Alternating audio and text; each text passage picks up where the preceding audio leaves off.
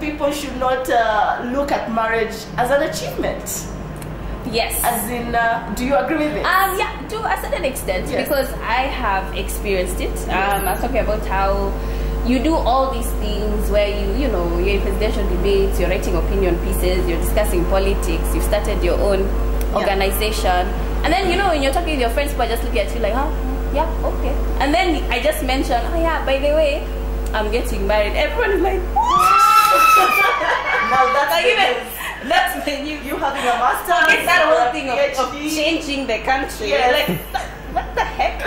You're getting married tomorrow. Like, you know, so so I've experienced it, Yes. and um, it's it's unfortunate, but it happens, and I'm thankful that yes, I come from a family where I've been encouraged to.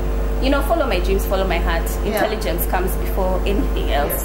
And so that's something that my mother specifically drilled on me. So I always knew growing up that I wasn't told that you know for us to be happy, you know, you need to start having you know that pressure comes know, from yeah.